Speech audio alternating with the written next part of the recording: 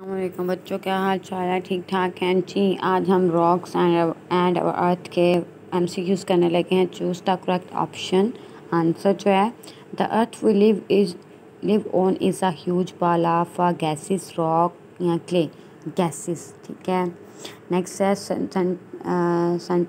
scientist believes that our earth was formed forty six forty seven forty eight forty six hundred.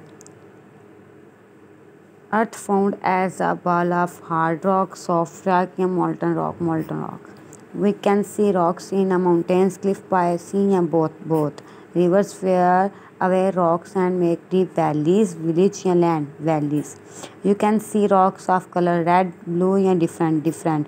Rocks are material, natural, man-made, animals made natural. There are kinds of rock, two, three, and many, many rocks looks different and they have different properties foundation या names properties are very hard rock granite marble या both both which one is the softest rock chalk clay या cement clay marble is sometime used for floors pillar या both both some rocks love to soak through water milk या juice water is used for floor because it is a immutable impermeable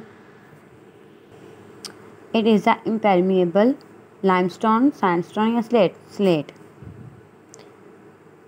marble is not only a very strong rock it is also very beautiful coloured या non coloured अगर हमारे दो question थे name three rocks which can not allow water to soak through तो यहाँ आएगा जी marble flint and slate ठीक है? ये आंसर है इसका। Which name three rocks which allow water to soak through वो हैं जी, chalk limestone and sand stone ठीक है? और ये डेट लगा लें दोनों क्वेश्चंस पे।